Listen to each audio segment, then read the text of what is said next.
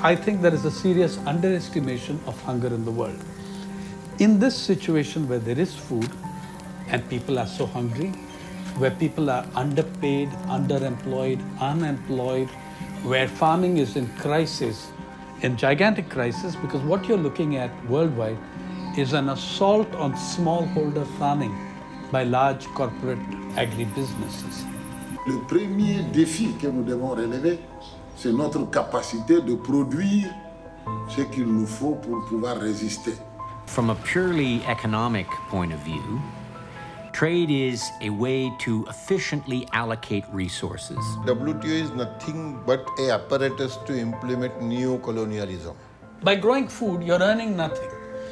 You grow vanilla, you grow coffee, you grow pepper, you grow spices, and then you export those for dollars. You got hard currency, and that's the way to go in eliminating poverty.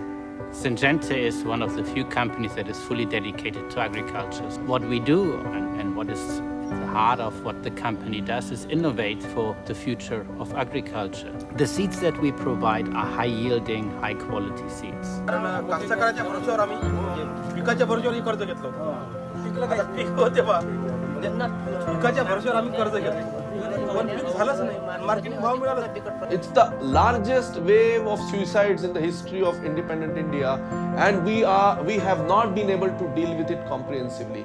The world doesn't know about it. The invisible hand of the market is a very identifiable bunch of grubby, sleazy paws